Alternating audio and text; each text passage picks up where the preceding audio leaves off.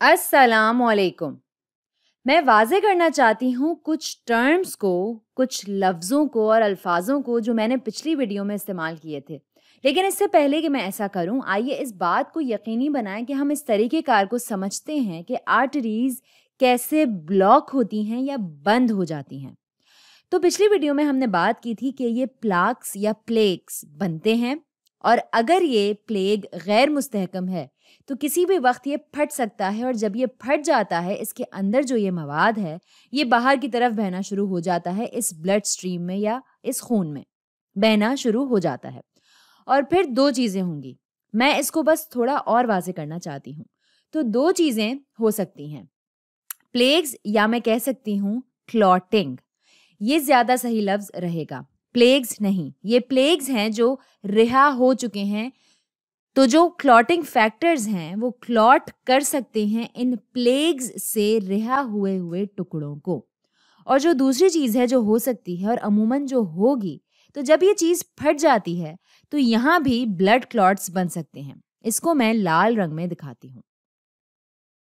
तो इस फटे हुए प्लेग पे ब्लड क्लॉट्स बन सकते हैं। तो जो हिस्सा है प्लेग का, जो अभी हिलना भी नहीं शुरू हुआ, वो क्लॉटिंग के मरहले से गुजरता है और जो हिस्सा प्लेग का ब्लड स्ट्रीम में रिहा हो चुका है, वो भी क्लॉट हो सकता है। और पिछले वीडियो में हमने देखा था कि इनमें से एक क्लॉट जा सकता है नीचे आर्टरी की तरफ़, जो किसी भी एक जगह पतली हो जाएँगी या नैरो हो जाएँगी। और वहाँ जाकर वो क्लॉट फंस सकता है और आर्टरी को ब्लॉक कर सकता है या इसको बंद कर सकता है। कुछ इस तरह से आर्टरी ब्लॉक हो जाएगी और खून के बहाव में रुकावट पैदा हो जाएगी। तो अब अचानक से खून का बहाव इससे आगे नहीं जा पाएगा और जो यहाँ पे मौजूद मसल टिश्यू है जिसको खून की ज़रूरत है, जिसको खून से ऑक्सीजन मिलती है, वो शायद मर जाएँ और फिर आपको मायोकार्डियल इन्फॉक्शन या हार्ट अटैक हो सकता है। अब जो चीज़ मैं वाजे करना चाहती हूँ, वो है इसकी असल टर्मिनोलॉजी या जो सही अल्फाज मेडिकल साइंस में इसके लिए इस्तेमाल होते हैं, वो। ये जो असल क्लॉट यहाँ बनता है, जो ब्लड वेजल में रुकावट पैदा करता है, ये यहाँ पर। ये है थ्रोम्बस और थ्रोम्बोसिस इसका अमल है। इस अमल को कहते हैं जिससे थ्रोम्बस बनता है। तो थ्रोम्बोसिस हैं, ये ब्लड क्लॉट्स जो बनते हैं और जो असल में रुकावट बनते हैं खून के लिए ब्लड वेसल में। तो ये जो थ्रोम्बस है यहाँ पर, ये मुश्किल बना देगा खून के बहने को इस ब्लड वेसल में। अब इन रिहा हुए हुए टुकड़ों में से कोई भी एक जो इन ब्लड वेसल्स में तैर रहा है और आखिर में अपने आप को फंसा सकता है एक आर्टरी में और खून के बहाव को रोक दे, इनको कहते हैं एम्बुलाए और अगर किसी भी एक के बारे में बात करूँ तो इसको कहेंगे एम्बुलस।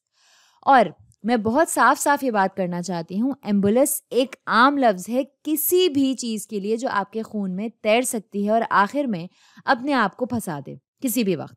आपके सर्कुलेटरी सिस्टम में और रुकावट पैदा कर दे आपके खून के बहाव में। हमने पिछली वीडियो में जो बनाया था, वो ये कि ये जो एम्बुलाएँ हैं, जो कि खुद भी क्लॉटेड हैं तो ये भी एक तरह से थ्रोम्बस हुए। ये दोनों थ्रोम्बाए और एम्बुलाए होंगे एक ही वक्त में।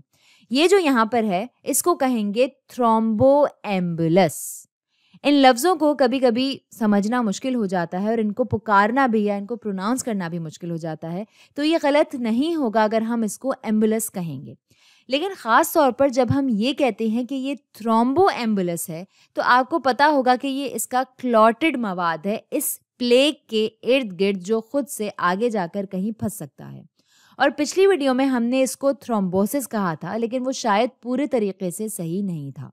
थ्रोम्बोसिस जो है वो होती है इस क्लॉट का बनना, जो खून के बहाव में रुकावट पैदा कर दे। इसका बनना, जब ये टूटता है यहाँ से और एम्बोलस बन जाता है और अपने आप को फंसा देता है आगे जाकर, जिससे खून के बहाव में रुकावट आ जाती है। इसको कहते हैं थ्रोम्बो एम्बोलिज्म ये मैं यहाँ लिख देती हूँ। थ्रोम्बो एम्बोलिज्म तो मैं उम्मीद करती हूँ कि मैं आपको ज़्यादा उलझन में नहीं डाल रही। ये मेडिकल टर्म्स जो हैं, ये थोड़ा सा इंसान को उलझन का शिकार बना देती हैं कभी कभी थ्रोम्बोसिस जो है वो आम लफ्ज़ों में कहते हैं ब्लड क्लॉट के बनने को, एक ब्लड वेजल के अंदर, जिससे खून के बहाव में रुकावट आ सकती है। तो ये यहाँ पर, यहाँ हो रहा है थ्रोम्बोसिस एक बार जब चीज़ें टूट जाती हैं और फिर वो तैरना शुरू कर देती हैं, वो कहलाती हैं एम्बोलस और ख़ास तौर पर, अगर ये टूटी हुई चीज़ क्लॉट की वजह से तैर रही है यहाँ तो ये होगा थ्रोम्बो एम्बोलस और एक बार जब इनमें से एक चीज़ फंस जाती है और ब्लॉक कर देती है खून के बहाव तो खून के बहाव को तो इसको कहते हैं थ्रोम्बो एम्बोलिज्म आप इसको एम्बोलिज्म भी कह सकते हैं। और जब आप इसको थ्रोम्बो एम्बोलिज्म कहते हैं तो इससे सिर्फ़ ये पता चलता है कि ये एक तरह का क्लॉटेड मवाद है।